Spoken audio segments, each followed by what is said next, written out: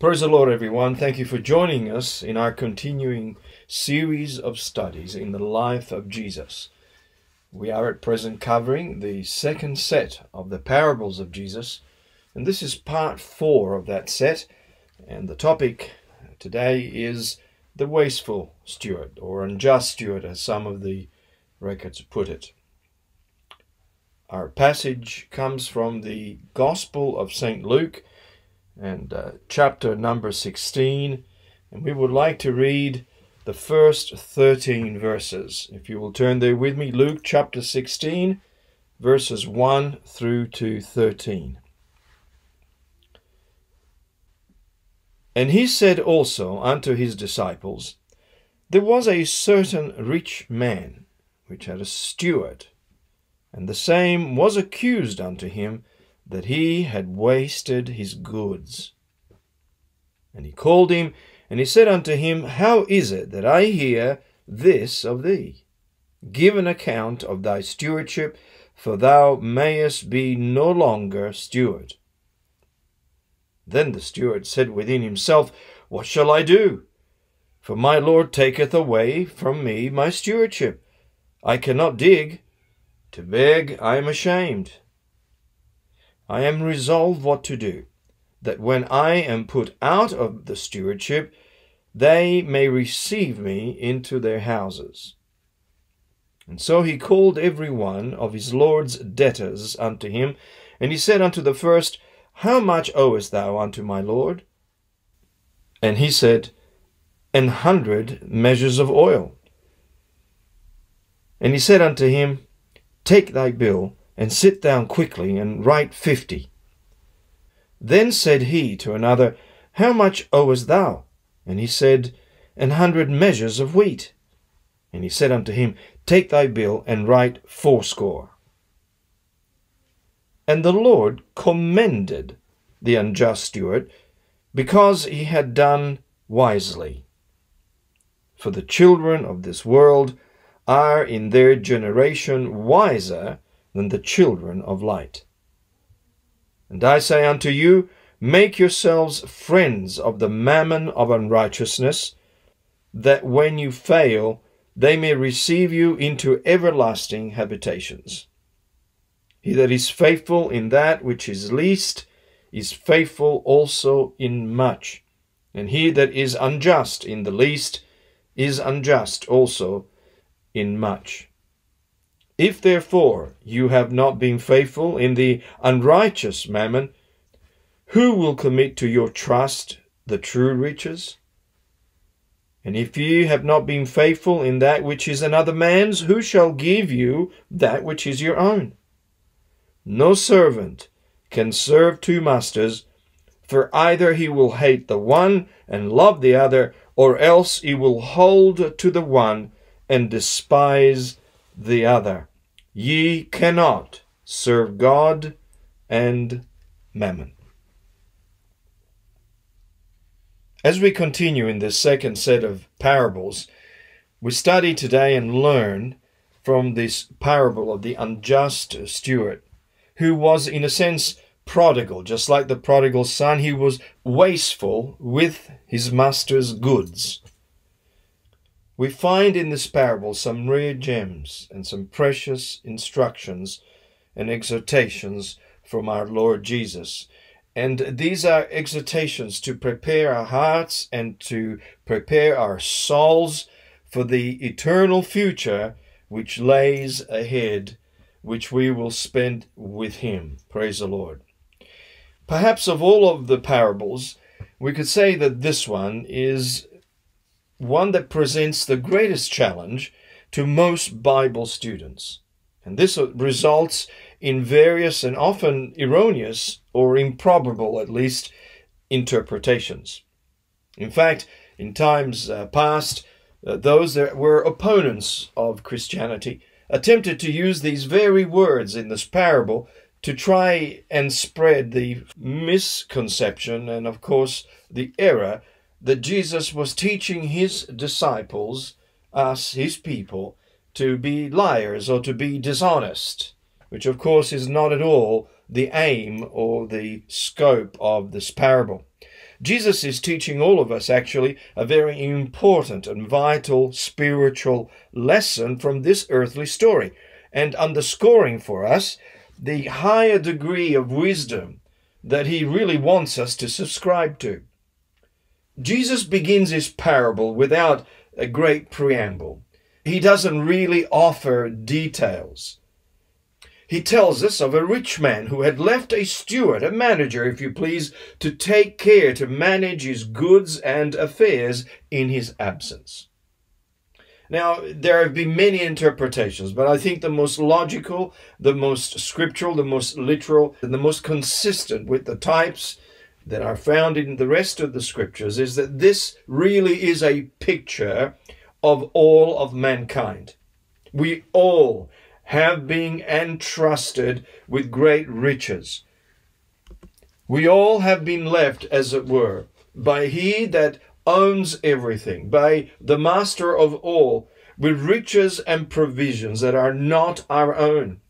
We have been given life and those things which we are able, freely able to manage and how we deal with the things that are committed into our hands, how we do with these things, what we do with them, how we use them, is significant and makes all the difference for our final life's outcome. This parable, in fact, speaks and teaches us of diligence. It teaches us of wisdom. It, it encourages us to industry and generosity and uh, really highlights for us the need to be benefactors to others with all of the things that God so graciously has benefited us and blessed us with. Praise the Lord. We soon learn in this parable that we are accountable. The manager in the Lord's parable had been profligate. He was wasteful with his Lord's goods. The implication here is that he had allowed spoilage, he had allowed loss, and he had, as the manager, misused these goods. Perhaps he had even embezzled for himself. This man who had been entrusted with so much he had frittered away much of his master's wealth and had shown himself to be untrustworthy. Word of this had come to the master, who clearly was well liked in the community and was advised that there was wrongdoing with his manager. And so the Lord came and advised him of his imminent dismissal. It is interesting and in itself the difficulty found in this parable that the main character which the Lord used to highlight these lessons is an unjust and dishonest individual. And yet, in spite of this, there is a, a very appropriate truth depicted in what Jesus is speaking to us. You see, it is here that we understand for every one of us there comes a time of accountability. Brethren, whether it is in death, which dismisses all of us from this life, or in a face to face encounter with Jesus at his return, we will all be held accountable for what we have done with those things which were so freely, so generously, so liberally afforded to us in this present life. This is, in fact, the first emphasis of this parable. Jesus drives this home. We all will be called to account for our deeds. We will be called in account for our actions, for our choices, and for how we have managed our life here on earth. Brethren, we need to see how that the life Jesus has given us here on earth is a wonderful gift of our loving Father. It is a privilege. It is a benefit and a glorious blessing. And that it comes with many added blessings which are poured into us every single day. Just like that Lord, God has entrusted us with so much. And really, the way that we manage these things is all important. Now, we have the tendency to focus in and feel sorry for ourselves because of the trials and the difficulties and the unpleasantness of life.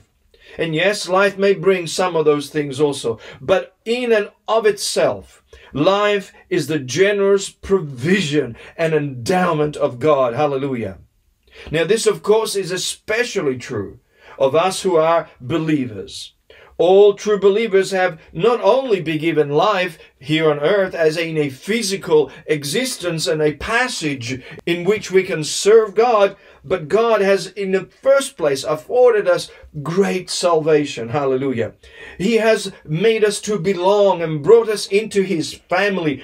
He has called us by His name. He has filled us with His Spirit, and He has given us all the associated benefits that salvation brings, including the glorious, wonderful, and hope inspiring promise of eternal life. Hallelujah. Surely our Lord has not been a miser with all the goodness and generosity that He shows us. But sadly, like that manager, Sometimes uh, we tend to take for granted the wonderful things that have been entrusted to us. We become slack in our management. We don't use them properly. And time comes when we will become accountable for all that God has given us. But the blessings and honor and directives and provisions of God are not merely the physical blessings of life of which we have plenty. But God has also granted us talents, abilities, strength, and much, much more in this physical realm that once we realize we and truly believe that we are His servants, we should be willing to use and labor with and multiply and utilize in every which way for His glory, to bring Him glory in whichever way. And yet, in spite of His greatness and His goodness to us, we can at times become familiar and, like that man, take for granted the good things of God. And we will find that one day, if we take that bent, if we don't do the best we can, we will be held accountable and responsible for what we did or did not do with what God has committed into our hands. Faithfulness is really the key that is in focus here in this parable at the moment. We are looking at that diligence, that wisdom, that industry that God wants us to demonstrate as His people.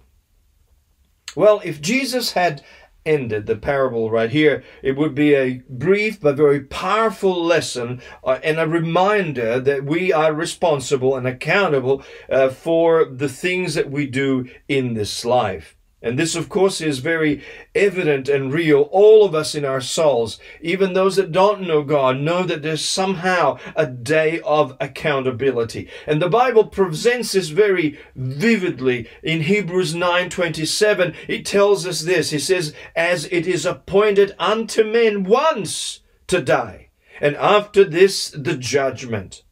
There is no such thing as reincarnation.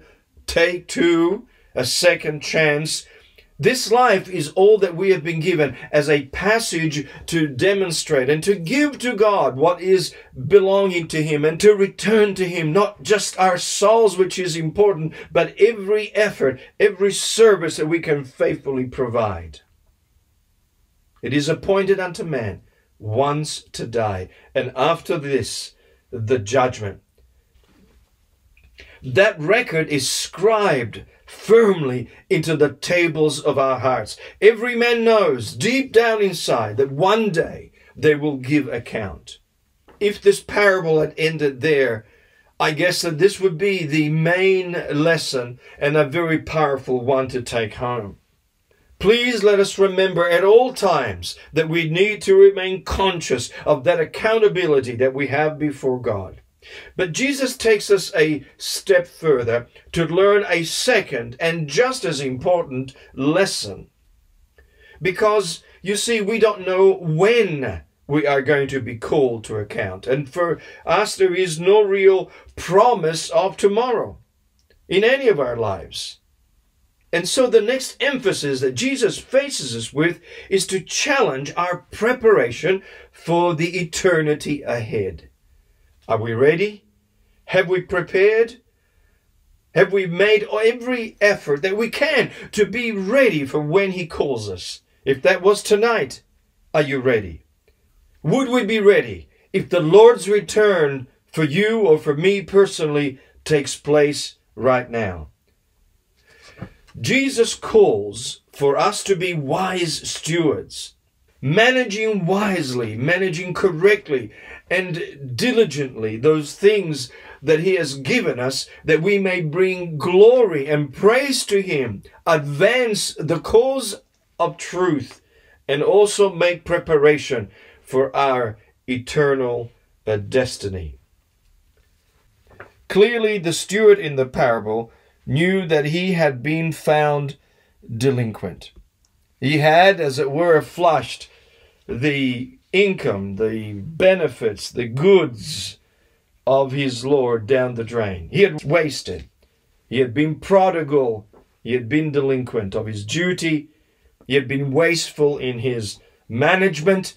And he had been unfaithful in his position, a very privileged, honored position that he had been given. And as a result, his dismissal was inevitable. He had been warned he would lose his position, his place. And so he reasoned uh, to himself that he was really quite unprepared to do anything else in life. That he was really unable to dig for a living, to labor for a living. Maybe he was too lazy to do so. And that he was ashamed to beg for his daily bread. But left without an income, and unlike the benefits that we can claim from governments today, in those days without a job, there was no income. So he resolved to do something different. But let me pause for a moment, brethren just to comment how it is so vital, so important that we take it to heart that the things that God has given us are precious. And they're not to be wasted. They are not to be spent on the wrong things. They certainly are not to be burnt or lost. And like the goods that this man was in charge of, they're certainly not to be frittered away or allowed uh, to spoil. God has imparted these things for us uh, that we may use them uh, to His glory. Hallelujah.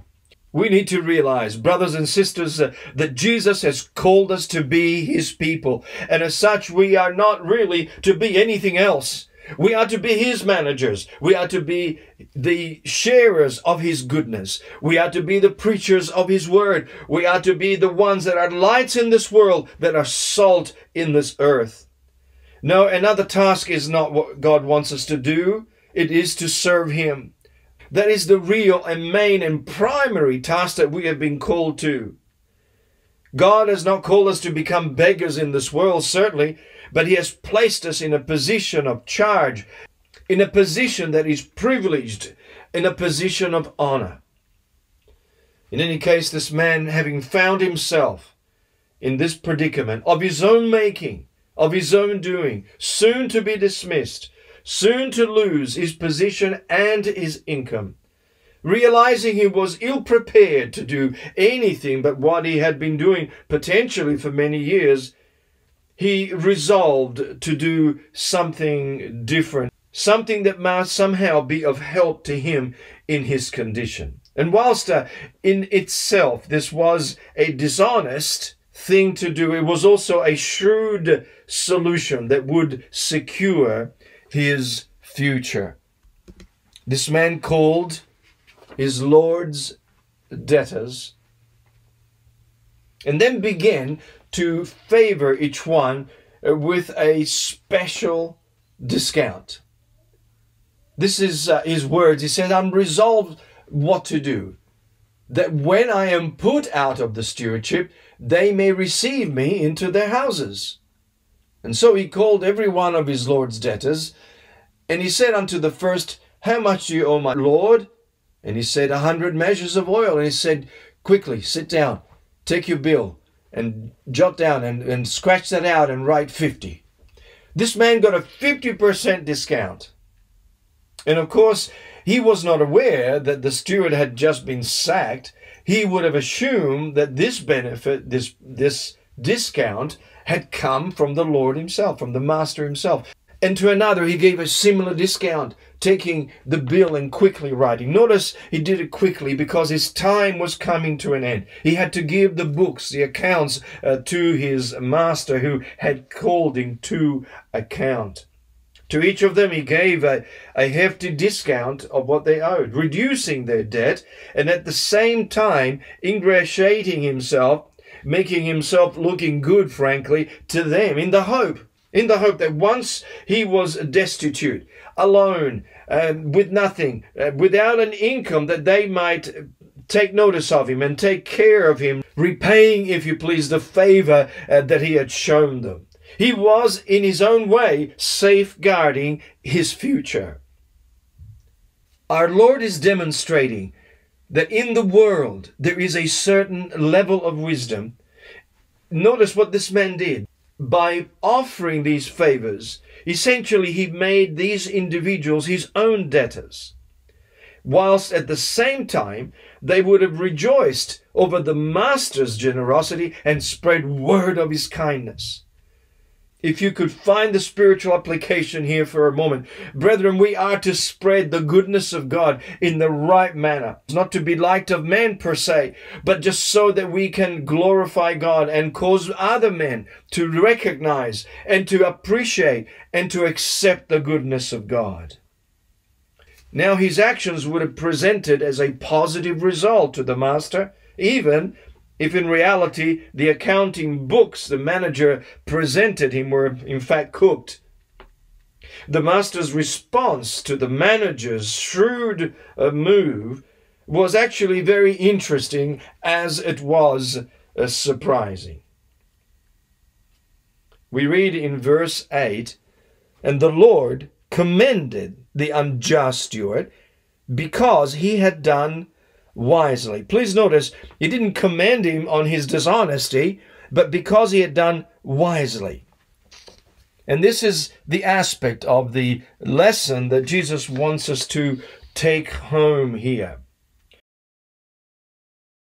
without necessarily respecting or always being able to genuinely admire their motivations. We may consider sometimes certain individuals in our uh, society, individuals who are wealthy, who choose to become philanthropists. Individuals who donate large sums of money to worthwhile causes to take care of those that are less privileged, as it were. And at face value, in a worldly sense, this is a charitable thing to do. It's a giving work. It is an aspect of love, if you please. Let me stress here that unless we love God first, loving others is only part of the commandment. It is actually the secondary commandment. It is by far better to love God first and do His will, and certainly necessary to love others. But these individuals don't know God, and yet, and yet, they demonstrate a certain wisdom, if you please, a certain, a certain shrewdness in that by giving, they actually receive.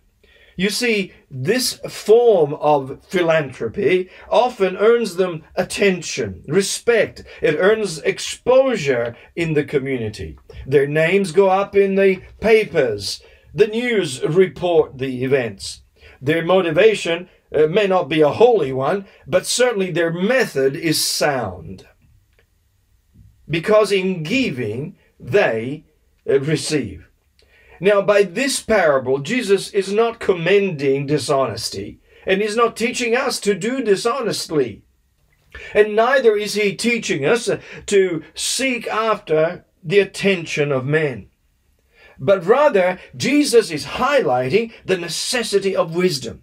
He is comparing the wisdom of the world, which is readily seen in these actions and actions like them, with the higher and spiritual wisdom that we as his children ought to have. Now, in the parable, you will notice the Lord of the steward did not berate him. The man didn't call him down. He did not focus on his manager's dishonesty. He achieved a goal. He achieved a shrewd result. It was an interesting and beneficial result And so he commended the wasteful servant, the unjust steward, for having acted, although in a worldly way, if you please, but wisely. Wisely. You see, this man, in the little time he had left, in the notice period, if you please, he had utilized the management of the goods that had been entrusted to him in a wise manner. And by wise benevolence, by being thoughtful of others and benefiting others, he had won good favor with those debtors, both for his Lord and really had provided a simple but effective solution for his own future. It is here, at this point, that Jesus drives home to us the truth and the necessity that we must be wise in our preparation for the future. We don't have much time. Even as a young person, you have no guarantee of tomorrow. Accountability could be the next thing that you face. And so, the necessity for preparation, the readiness to face accountability is all important. And Jesus is saying we must be wise. He points to those who, like the steward, are of the world in a worldly sense, and he shows that they, in their dealings, in their choices, at a worldly level, nothing to do with spiritual things, they are often more skillful. They are often more determined and industrious in preparing for themselves the temporal and perishable things of this life's future. And they do so much better often than the children of light. Those that are saved must be every bit as diligent, must be every bit as wise to prepare for the spiritual necessities of their eternal future. Hallelujah. It is evident all around us that those interested, caught up in the trap of this temporary worldly life will often cooperate one with another. They will deal, they will plan, and they will labor quite hard and long, often even unlawfully, to procure for themselves a more secure, a more comfortable, a more prosperous future in this present life. And if you are honest, we can say uh, with the apostle, and such were some of us. Do you remember what it was like before Jesus came into your life? Do you remember the, the, energy consumed and the drive and the efforts made in trying to get someplace and, and make ends meet? But more than that, to try and achieve a position, a goal in this life that was worthwhile. Uh, chasing that rainbow and never quite getting there. But making every effort, laboring, and often doing so even in a uh, dishonest manner, just simply so we could get ahead. And yet, when we, those same people, now are redeemed and changed and saved and have come to this great knowledge of truth and profess an eternal hope beyond this material world, often we can be guilty of slackness. We can be guilty of laboring by far less, by being less diligent and less applied at attaining the glorious and everlasting rewards which are prepared and waiting, promised for those that are faithful. Oh, saints of God, we must be careful not to ever become enmeshed and lost in the struggle and endeavors of this earthly life to the detriment, to the loss of sight of what really matters to us as believers and of all the wonderful things that God has in our eternal a reward. Jesus said we need to be wiser. And he points to the shrewd steward who, although was doing dishonestly, he was wise enough to prepare for his future. He knew it was soon coming uh, to an end. Oh, brethren, we have no guarantee of tomorrow. What if our life comes to an end? Have we prepared? Are we ready? Have we been wise? In verse 9, Jesus says something uh, which has rattled uh, many uh, that read the scriptures. He says, And I say unto you, Make of yourselves friends of mammon of unrighteousness, that when ye fail, they may receive you into everlasting habitations. Now, this uh, word and this verse has been the consternation of many who are believers. You see clearly our primary preparation is that of storing all kinds of wonderful spiritual treasures in heaven. Jesus said that that is where our hearts must be, with treasures in heaven, not here on earth. And this is done uh, Uh, by attentive, diligent building of a strong, consistent, and intimate relationship with Jesus. How do we do this? Well, we apply ourselves to prayer, to the study of His Word, and the righteous observance of all that He commands we need to maintain that first and foremost. But Jesus here then issues some solemn advice. And he adds another dimension to the preparation that even we as Christians, as believers, ought to apply ourselves to. You see, for each of us have been given, and we are possessors, if you please, of various degrees of earthly wealth, earthly talents, if you will like, in this temporal life. God has given to us just as much as He has to someone else. And being in the Lord does not lessen the importance of what God has given us, even at a physical level.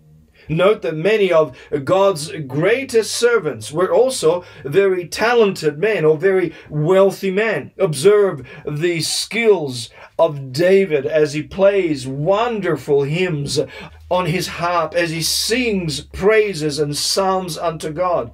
Look at the mighty sword in his hand as he goes in the name of Jesus to conquer against his enemies.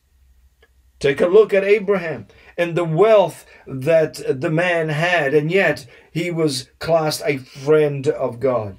The examples could be multiplied manyfold. There were and there are many wealthy people amongst the servants of the living God, blessed by God with both spiritual and temporal blessing. You see, it's not the money per se, but the love of money, the scripture says, which is the root of all evil. And so we need to remember that God has given us these things for a purpose. And it's not merely the money. What about your talent? Uh, what about your abilities? What about your special skill set? What about the opportunities that you have that someone else may, may not? In essence, you have been given a repertoire, can I say a chest full, as it were, of treasures from God. And these are all given for a very good reason. God, just like that rich man, made you a manager, a steward of his goods. And his message essentially is something like this You are likely soon and without notice to have to give up all, I repeat, all your worldly possessions. You see, we cannot take any of these things with us. He might be saying to you and I, Beware lest the riches of this life, the things that I have blessed you with, the things that are meant to be a help to you, an assistance to you, a blessing in your life, harden your heart and you do not see the needs of others. This is one of the dangers that we have that we are so comfortable, we are so well off, we are so well catered for, and uh, that we have all that we need and so much more that we fail to comprehend that others do not have. And I don't mean just physically now or financially. Jesus is saying to you and I in these words, do what the manager in my parable did for the people in his world, but do this in the people in your present world, in your society, while you still can. What was the wise move? What was the shrewd move? That man found a way of making the master someone of a benefactor in these people's eyes. They owed a debt, and he made their debt lighter Brethren, you and I have a means, a way of showing a path to salvation. Hallelujah. God has given to you, to me, the keys, as it were, to open the doors of salvation for so many. What you have in your hand, in your heart, in your soul is a glorious, wonderful present gift of God. And it isn't just for you. It is to be shared. It is to be given to others to lessen their debt, to help them to come to salvation also. Do what the manager did. Do it while you still can. Benefit them. Benefit others with the things that you have because they have been given to you. They're not yours. They've been given to you. Be generous. Share my riches, says Jesus. Forgive the debt of those who owe. The word of Jesus speaks to your heart and mind as he communicates these truths. He says, Help the poor, open the doors for those who are destitute. Give of all that was given to you freely, both spiritually and physically. Freely you have received, freely give.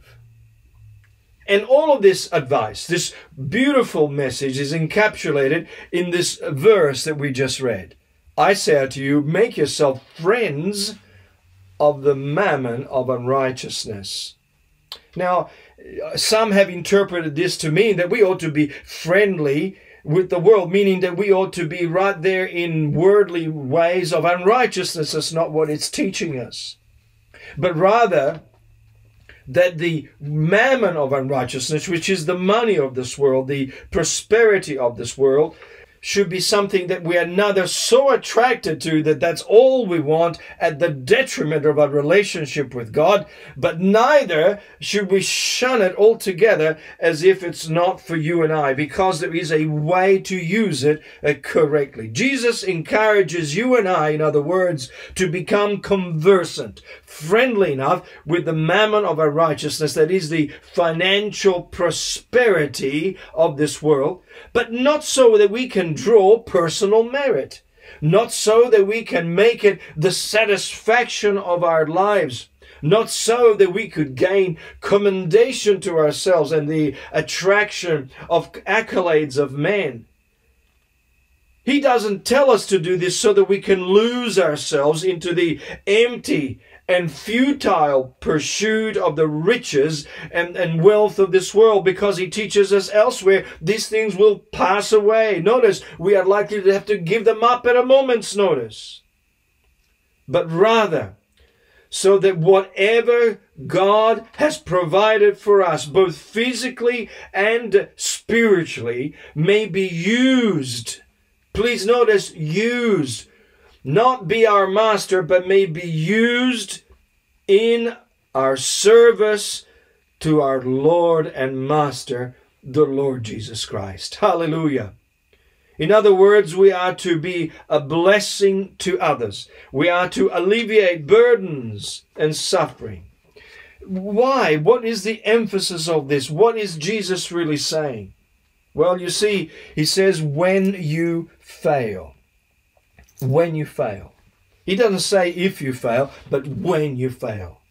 In other words, when your sun sets, when your journey has come to an end and is over, when finally we fail in the sense that death has knocked on our door and we are laid to rest, that we may joyfully be received into our reward, into eternal dwellings, habitations in heaven by those who have gone before, by those who were benefited from our influence, by those with whom we shared the goodness of God, by those who perhaps uh, were in some way or another affected by our lives and our testimony for Jesus. And we have to use what we have, and it includes not just our voices, not just our actions, but the things that we have to reach those others. Jesus will be the first one to receive us in such habitations. You see, he was our example, but there will be also some poorer saints, perhaps, faithful souls who might have been blessed and helped during our lifetime by the very things that we did. And there will be angels in heaven rejoicing who have witnessed our passage and journey here on earth, and they too will be welcoming. These habitations, eternal habitations that verse 9 speaks of, are not the habitations of the unrighteous, these are the habitations of heaven. Eternal habitations into which we joyfully will be received when we have done wisely, correctly, if you please, shrewdly, with all that God has given us. There's another beautiful verse that comes to mind, and Jesus says this He says, to be harmless as doves, wise as serpents. And this is in doing his work. He that winneth a soul is wise. There is a wisdom associated with working for God, uh, which is praised uh, by the Lord. Hallelujah. We are on a journey and we're all traveling it. Whether you like to see it that way or not, we are traveling. The things that you accrue, the things that you accumulate, are here to stay. They're not coming with you. Jesus shows there is perfectly good reason to utilize what we have in this world to do honor to God and to the good of our brethren and to do so without reservation, with all-hearted generosity, remembering that we are only the managers of what really belongs to God anyhow. Oh, brother and sister, at what point do we become the owners of the money that's in our bank account? At what point do we think we really are the proprietors of anything here on earth? Because this is how it works. The moment we pass from this life, we leave it all behind. Someone else gets it. And so, unless we have used both what we have inwardly and spiritually from God, for his purposes, and what we have outwardly and physically for his glory and to be a blessing to others, these things will pass away. We sing a beautiful old hymn, a song. The things that I love and hold dear to my heart, they're just borrowed. They are not mine at all. Jesus only lets me use them to brighten my life. So remind me, remind me, dear Lord. Hallelujah.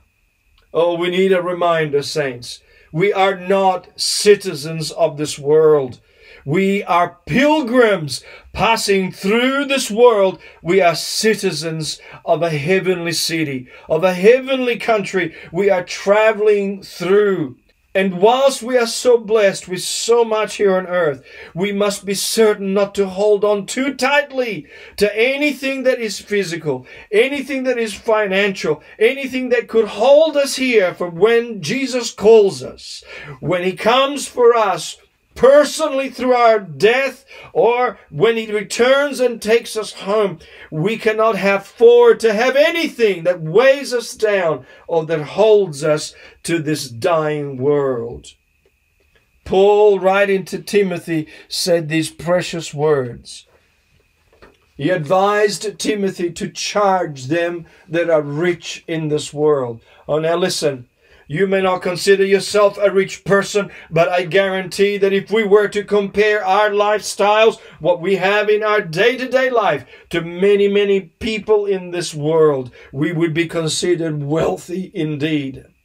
And I am sure that in the days that these scriptures were written, if we could somehow equate to those times, we would be indeed very wealthy. Most of us have more clothes than we could possibly wear. Most of us do not travel on foot like they used to. We have chariots uh, called vehicles and cars, and some of us multiple such things.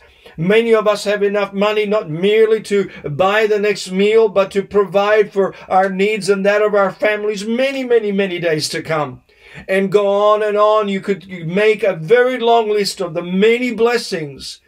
And so these scriptures apply to you and I. Charge them, remind them that are rich in this world that they be not high minded.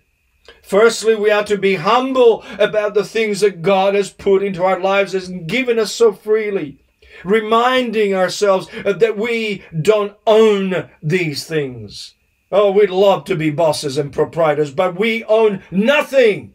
Our very life, our very soul belongs to God. Our very breath is given daily by a faithful Savior who created us.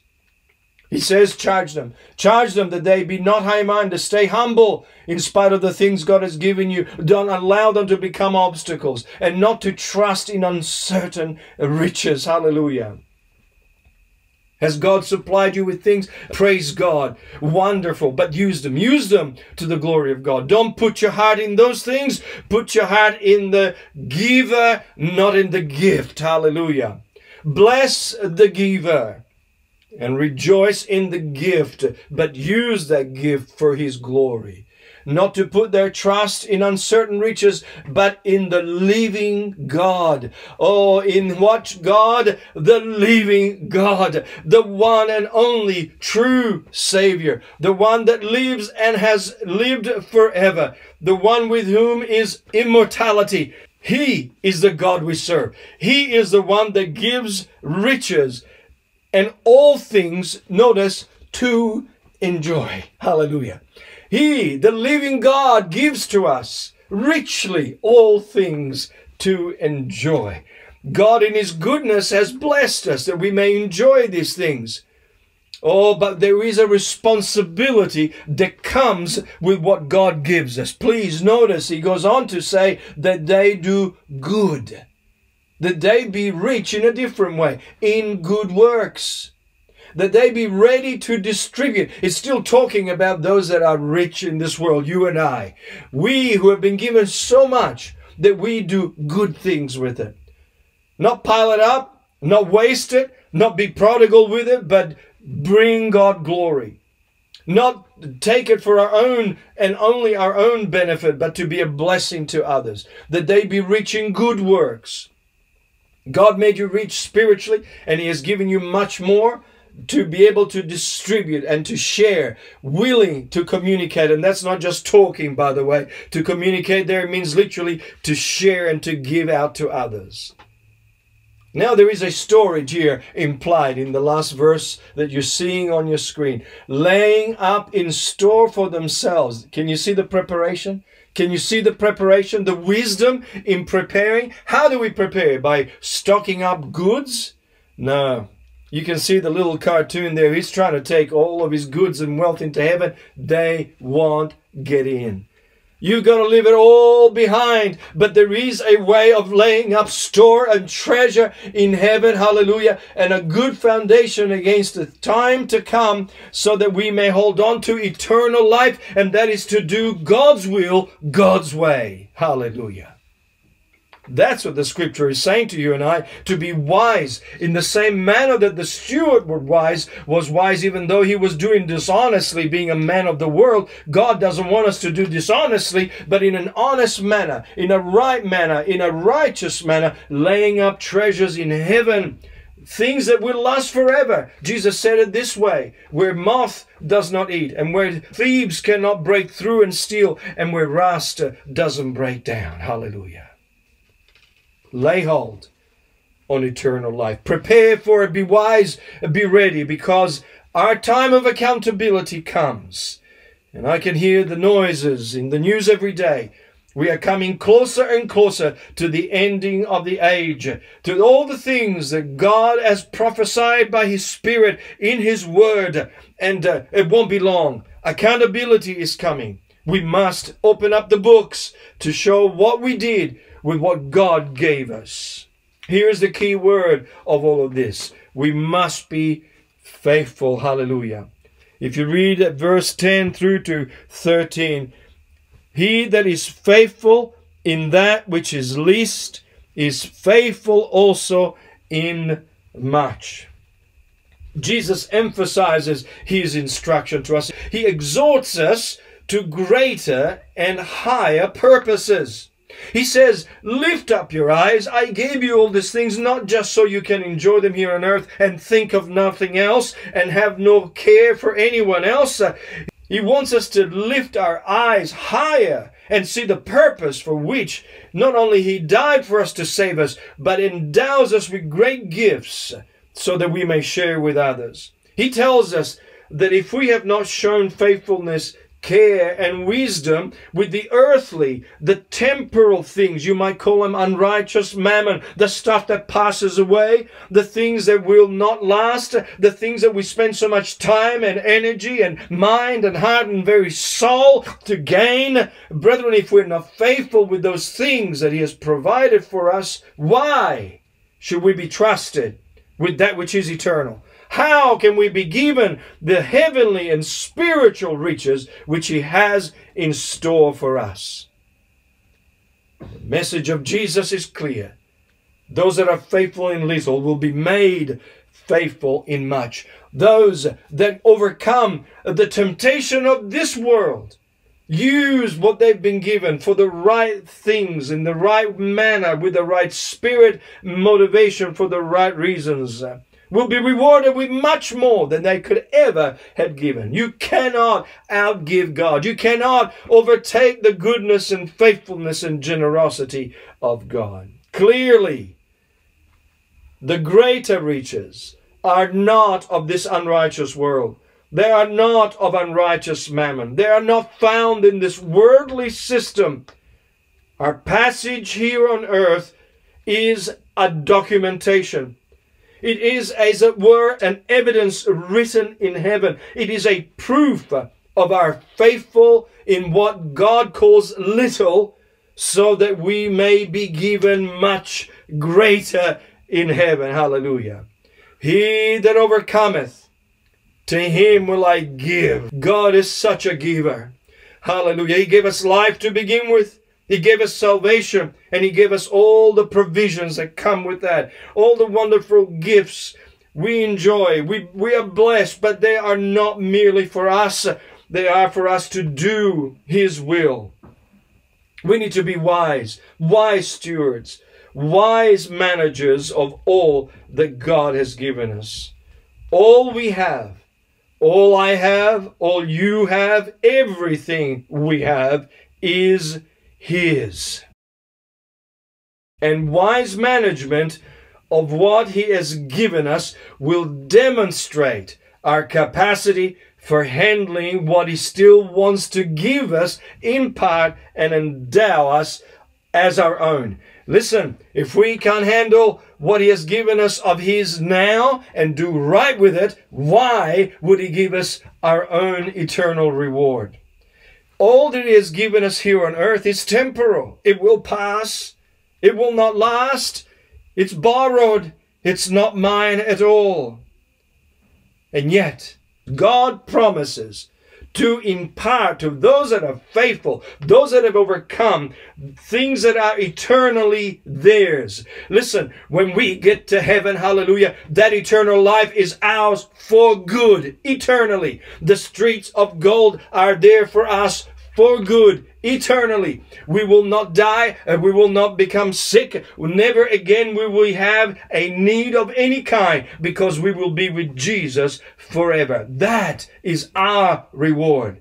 But why would God give to us what is ours and prepared for us if we were not faithful with what He lent us and what we borrowed from Him during this life on earth? This passage here on earth is a document is an evidence, is a documentation, it is a proof of our faithfulness to God. Hallelujah. The things of this world, saints of God, we cannot hold on to, but the eternal riches of heaven are forever ours to have and to hold in Jesus. It is found in the choices we make with what God has so kindly lent to us that we demonstrate our allegiance uh, to him. Have a look at verse 13. Jesus said these words. He says, No man can serve two masters. For either he will love one and hate the other. No man can serve two masters. You cannot serve God and mammon. Now, notice earlier he told you to become friendly, accustomed wise with mammon of unrighteousness. In other words, we are not to evade or avoid those things that are around us, but we need to learn how to use them. But then let's remember this we are never to become the servant of mammon. We must be the servant of the living God. We cannot be for the world and its riches and for God at the same time. It cannot be. The things that we have, the things of this world, the things that God has provided for us must not be our masters. They must not rule us. They must not control us. But rather, they must be our servants. Hallelujah. They must be something that we use as tools in our service to the King of Kings. No one can serve two masters. And yes, even as Christians, we have a choice to make because daily we are faced with the temptation. We are faced with that choice. What are we going to serve? Who will we be the servants of today? Well, let us shout with a resounding chorus in one voice, in one mind and one accord. Take this whole world, but give me Jesus. Hallelujah. May the Lord bless you as you consider these thoughts in prayer and before God. Amen.